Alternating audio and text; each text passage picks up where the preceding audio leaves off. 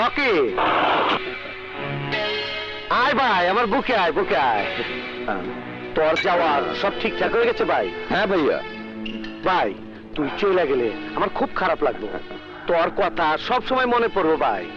আমি কি করে থাকুন তোরে চাইরা আরে ভাইয়া আমি কি কোনো বিদেশে যাচ্ছি? পাশেই তো। মাত্র দেড় দু মাসের ব্যাপার। এতে তোমার মন খারাপ করে কি আছে ভাইয়া? এই নে টাকাগুলো রাখ। দেখি। আরে ভাইয়া এত টাকা দিয়ে আমি কি করব? আরে রাখ রাখ। টাকা পকেটে থাকলে শরীর গরম থাকে।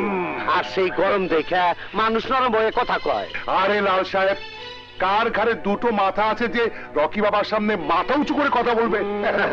ঠিক আছে ভাই যা ভাই যা। আসি ভাইয়া। যা। শোন রকি হ্যাঁ? মাঝে মধ্যে আমাকে টেলিফোন করবি আর পৌঁছানো মাত্র আমার রিং দিবি। যা। লাল সাহেব রকি বাবা যাচ্ছে কোথায়? ট্রেনিং নিতে পুলিশের ট্রেনিং নিতে বুঝলা?